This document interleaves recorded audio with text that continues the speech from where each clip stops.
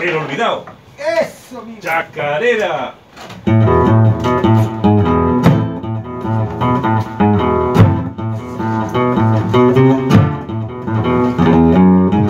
Querido duende Garnica, cuánto dolor y abandono.